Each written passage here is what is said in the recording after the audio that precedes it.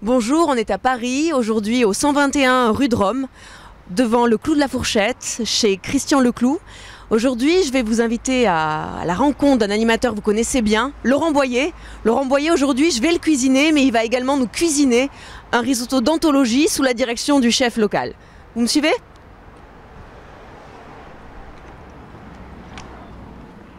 Laurent, bonjour. Bonjour ma Claire. Je crois que tu connais bien euh, Ah, déjà euh, l'endroit. C'est ouais. toi qui as choisi aujourd'hui. Alors écoute, moi, moi, c'est l'endroit que j'ai choisi parce que euh, c'est ma cantine. Christian Leclou, je le connais depuis euh, plus de 15 ans. Il était avant installé rue Cardinet, c'est installé maintenant rue de Rome. Et, euh, et c'est ma cantine. C'est là que. Je, mange ici au moins trois fois par semaine, euh, ce qui paraît énorme pour un restaurant, mais c'est surtout un ami d'abord. Et puis c'est un chef que je respecte, qui m'a fait découvrir des cuisines, des saveurs et une façon de travailler les produits qui est assez hors du temps. Euh, des, produits simples, des produits frais. C'est des produits travaillés ici. Tout est travaillé sur place. Et c'est ce qui me plaît dans sa cuisine. Et il m'a fait découvrir. Euh, des plats que moi, naturellement, j'aurais pas forcément mangé. Euh, et c'est assez intéressant. Donc, il me, il me dit tiens, goûte ça, tiens, essaye ça. Euh, et j'aime bien cette cuisine découverte comme un apprentissage, évidemment avec la- la- son tour de main et sa qualité, mais c'est une forme de découverte. Et j'ai mes plats favoris qui sont faits ici. Et Christian me fait mes plats favoris souvent, m'apprend, me donne des tours de main, m'explique, me montre. Euh, voilà, c'est euh, comment te dire, c'est mon prof de cuisine. On ne lui donne pas le choix non plus. hein. Il mange ce qu'on a décidé de lui servir le jour où il est là. Voilà. Pour moi, la cuisine, c'est compliqué de faire simple. Tu vois, c'est tellement difficile. Simplifié. Oui, simplifier pour que ça soit à l'épure, quoi. Mais c'est tellement compliqué de revenir à l'épure, euh, d'être soi et en même temps de faire une, une cuisine où tu sentes la saveur des produits, euh, savoir l'aménager, l'accompagner et que tu retrouves le produit quand même. Bah c'est ça, un chef. Voilà. L'été, on a un peu plus le temps de faire la cuisine. Ah, l'été, on fait ça, on fait beaucoup la cuisine l'été chez moi. On va pêcher le Barbecue. poisson et on le cuisine après. Tu sais qu'on va à la pêche. Moi, je vais beaucoup à la pêche l'été, j'adore ça. À Noirmoutier en. Vendée. Moi, je On sais pas, donc je, pense qu'il faut que je vienne la prochaine fois parce que Ah, non, si je sais veux. pas. si tu veux, ma Claire. J'aimerais savoir ton pire souvenir gustatif. Alors écoute, je souhaite qu'il soit à venir, ce pire souvenir, Ouais. mais euh, pff, oh, le pire. Écoute, j'ai un souvenir quand j'étais euh, gamin. J'allais très souvent chez ma grand chez ma grand-mère, euh, qui Mhm. m'a une grand-mère qui m'a élevé, et euh, il se trouve qu'elle me faisait parfois des abats, et notamment de la cervelle. Et est comment te dire. Tu Oui. y es passé aussi. oui, oui, la cervelle de mouton, c'est bon quand on est enfant. Et alors, Mm. quand j'étais môme, moi, c'est pas les épinards. Mon pire souvenir, c'était ça, parce que elle me disait si tu veux avoir de la tête, faut en manger. Donc, tu vois, tu vas bouffer de la cervelle. Et je me souviens de la cervelle, tu sais, comme Mm. les, les grands-mères faisaient à la poêle, tu Ouais. vois. Elle avait un poêle en plus, bon, à l'ancienne. euh, bon, On disait que c'était bon pour les enfants à l'époque. mais Ouais. oui. On a tu eu les mêmes souviens, Ah ouais. Tu vois, et euh, mon pire souvenir gustatif, c'était bouffer de la cervelle. Et c'est Mm. resté pour moi une aversion. Mm. Euh, C'est-à-dire que si j'ai du mal à manger les abats, Mm. euh, et je, je crois que j'ai pas mangé de cervelle. Déjà, j'en ai peu. euh, mais j'en ai, je n'ai pas mangé en tous les cas depuis, euh, bah, de- depuis cette période-là d'enfance, ça doit être mes 9-10 ans. Ah, c'était hier. C'est ça, tu en as c'est mangé ça, il y a hier. six ans, C'est voilà. ça. Et je suis jeune ado, tu comprends Tu comprends Claire, je suis tout jeune ado. J'aime pas la cervelle, c'est trop Tu la con. kiffes pas. Ah, C'est pas, non, c'est pas mon kick du tout. Euh, non, j'ai du mal avec la cervelle, vraiment. Et- mais euh, voilà. Donc mon pire souvenir, c'est ça. Mm. C'est un- C'est un souvenir de, de cervelle et d'abat Ouais. avec ma grand-mère. Et ça, c'était euh, une tannée, quoi. Euh, le foie de veau non plus, j'aime pas trop. Tu vois. Et Kiki, euh, ici, Il essaye. ma, ma cantine, il essaie de me faire du, du- Les du- rognons, j'ai essayé. Mais... Les rognons, c'est Les rognons niette. de veau, bien sûr. Rognons de veau, le, la- le- le foie, la cervelle, les abats. Mm. Euh, tu- Ouf Ça, j'ai- ça, j'ai vraiment du mal. Mais ça dit, c'est c'est une aversion. Tant que j'ai le choix de pouvoir goûter autre chose, Mm. euh, je, je mange autre chose. Mais j'ai vraiment du mal avec ça. Mm.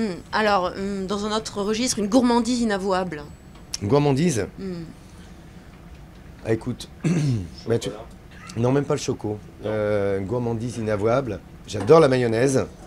Donc je serais, capa- je serais capable de manger de la mayonnaise avec plein de trucs, notamment des viandes froides. Mhm. Euh, J'adore la sauce tomate. Ouais. Euh, je serais capable d'en mettre partout. Mhm. J'adore les tomates. Je peux mettre de la sauce tomate, mais dans des trucs, des fois, ça paraît hallucinant, quoi. Je mets de la sauce tomate dans une omelette, dans... Enfin, tu vois... Ça reste, va encore tant que tu ne mets pas dans les desserts. Non, sauf Voilà. les desserts, voilà, t'as raison. Mais, ça, euh, hein mais je me... Voilà, sauce tomate, mayonnaise, c'est mes trucs un peu inavouables. Le reste, euh, Qu'est-ce que j'ai d'inavouable, Kiki, que je mange chez toi, qui est pas vraiment. Bah, euh, pendant la saison des tomates, euh, Ah, les matin, tomates. midi et soir. Matin, midi et soir, je peux vous faire des tomates, ouais, vraiment. Mais la vraie tomate à l'ancienne. hein. Tu sais, il me, fait, il me fait des tomates, tu sais, maintenant il y a des tomates de cinq couleurs différentes. Ouais, et il fait ressort. carpaccio de tomates remarquables, Mm. euh, bien assaisonnés. J'adore, des, tu vois, moi, des tomates, un vinaigre, un vinaigre balsamique blanc. Tu Euh, aimer le, le parmesan quand même. le parmesan, j'adore ça. Dans le risotto, dans les Yeah. tomates. euh, Et il Ouais. faut venir vers chez moi, hein. Ah c'est un peu ma cuisine en bas, hein. le parmesan, l'Italie. euh, Les tomates Les tomates, hein, j'ai Voilà. envie de vous dire, euh, c'est quand même pas très parisien. hein. Oh, Nissart Oh, Nissart Un petit peu, hein. Ah, oui. Un petit peu. Non mais voilà, alors inavouable, oui c'est ça. Je, Mm. euh, le- la mayonnaise, la sauce tomate, le, le salé, pas trop le sucré. Je suis pas très sucré. Je bouffe très peu de sucre en fait. Mm. Enfin, j'ai l'impression que je mange peu. Je suis pas très dessert. Hormis les tartes de ma mère, j'adore les tartes, euh, que- quelles qu'elles soient aux fruits rouges notamment. Mm. Ouais. J'adore les fruits rouges. Et justement, un plat qui te rend nostalgique. C'est-à-dire un plat quand Alors, tu le manges qui te renvoie justement à- peut-être à l'enfance ou à Euh, des bons moments. alors à ma mère qui cuisine remarquablement bien. Ouais. Euh, qui cuisine euh, façon le clou, tu vois, c'est-à-dire euh, cette façon Tradition. une tradition, Ouais. c'est-à-dire des, des plats de tradition, c'est con, hein, mais j'aime les plats de tradition parce que ma mère m'a élevé comme ça. Ma mère est très bonne cuisinière, euh, elle fait ça à l'ancienne, Mm. euh, elle prend son temps pour faire la cuisine et elle aime ça. Ouais. Faut l'aimer la secret. cuisine, hein. C'est comme lui, tu vois, il aime ça, Christian. passion. C'est une passion, voilà. J'aime les gens passionnés, moi. Ma mère l'était par la cuisine, entre Ouais. autres, comme Christian, Ouais. comme toi. Mm. Euh, et, mais moi, je comprends très bien ça. Et- alors, mes plats de tradition, c'est alors la poularde de riz de ma mère à la Ouais. crème. Ouais. Et alors, tu, écoute bien, on va revenir à ça. Le riz sauce tomate de ma mère. Tu vois, ou écoute bien, la tarte aux tomates et aux oignons de ma mère. Tu vois, elle fait, elle fait sa pâte feuilletée elle-même. Ouais. Tu vois, je connais le truc.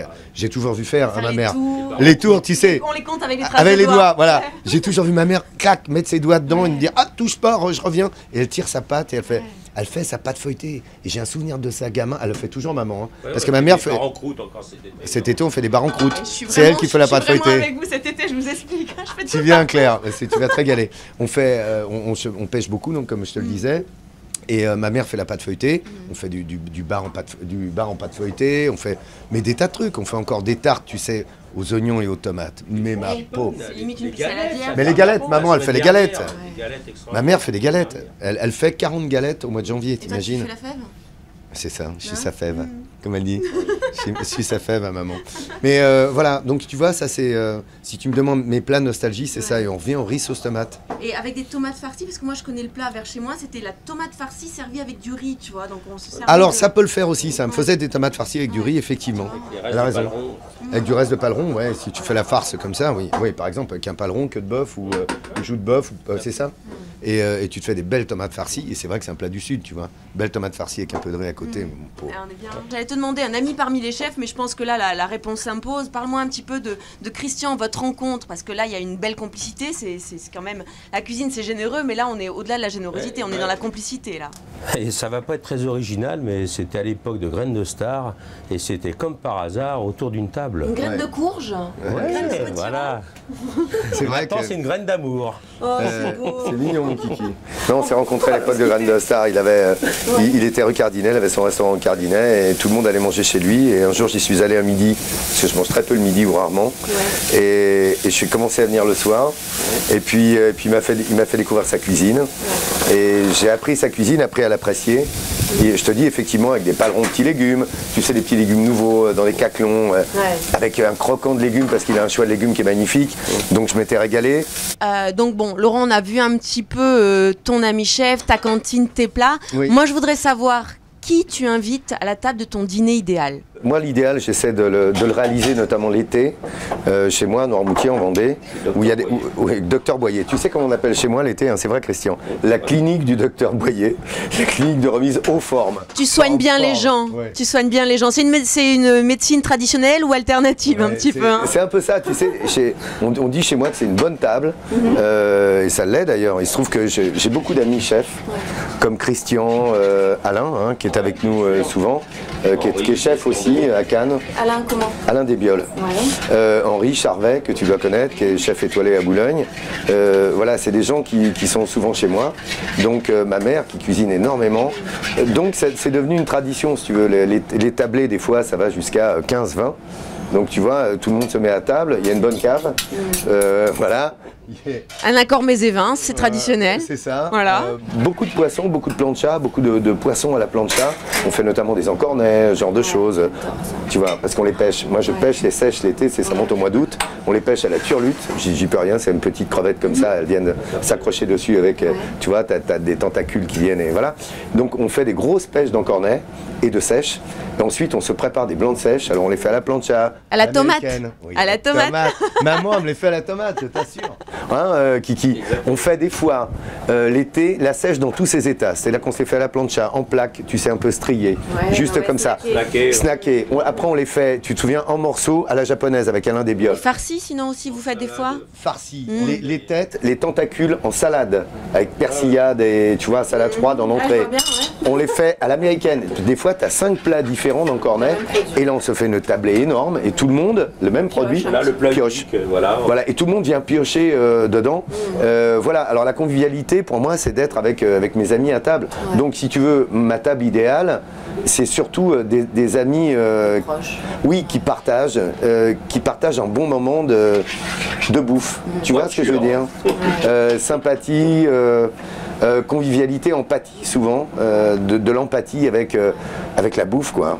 C'est un moment de convivialité manger, tu vois, un moment de partage quoi. C'est comme le vin, ça se partage.